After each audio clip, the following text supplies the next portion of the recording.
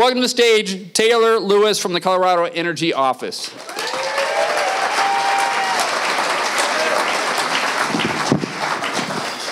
All right, let's go.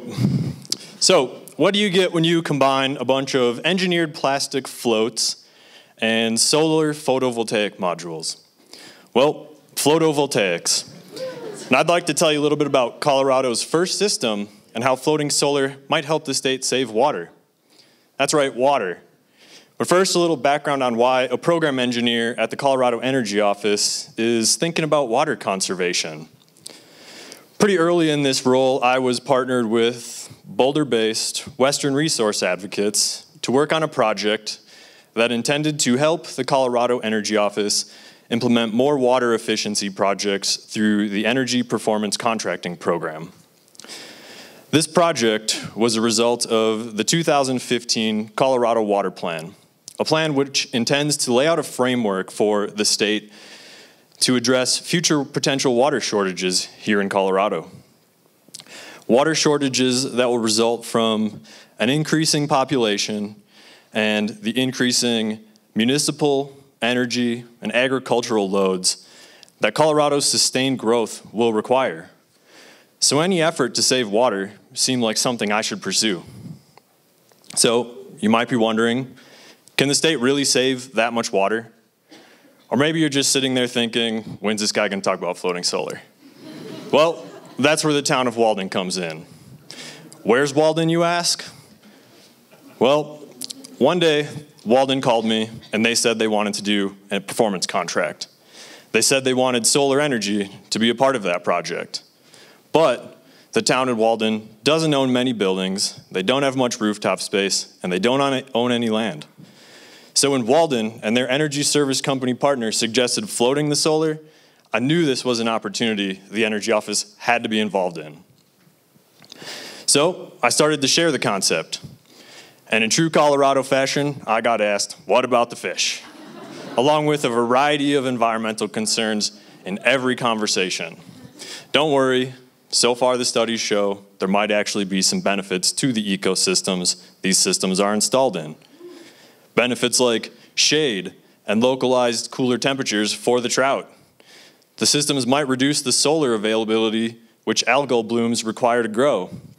And the floats might actually provide space for aquatic mammals, reptiles, and birds to eat and rest. Speak of an, speaking of environment, us Coloradans know that our elevation comes with a lot of sun, there's a lot of man made dams and reservoirs to store water in the arid climate that we have. An arid climate that, when combined with that sun, results in evaporation. A lot of evaporation, it turns out.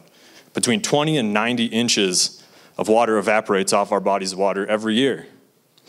Thinking about this evaporation reminded me of some stories I'd heard from Los Angeles, where the city covered four of their reservoirs with hundreds of millions of black plastic balls and claimed millions of gallons of water savings. Could floating solar do something similar for Colorado? And if so, and we were trapping that water vapor under solar panels, and it was helping to cool the panels, would those panels operate more efficiently while helping the state keep water in our reservoirs? Well, while I was having these conversations, it didn't take long for a catchy phrase like water energy nexus to show up. But it's definitely a more interesting application of the term than, say, cooling towers at your coal fired plant or fracking wastewater.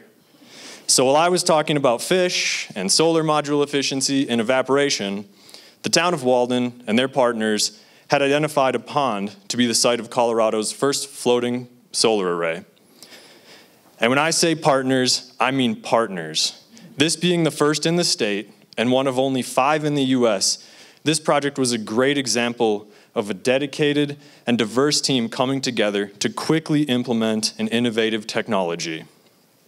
After 13 months of development, design, and construction, Walden's the proud owner of a 75 kW floating solar PV array with the potential to offset the usage of their water treatment plant. Colorado has a reputation of being a leader in energy efficiency and renewable energy. And working on this project really showed me that it's communities like Walden and their partners that are the ones helping to keep Colorado in the forefront of these efforts. That said, the Energy Office would like to keep this momentum going, and we have plans to conduct a statewide analysis to really determine how many bodies of water we could cover and what benefit that might have for the state of Colorado for both its energy and water goals. Thank you.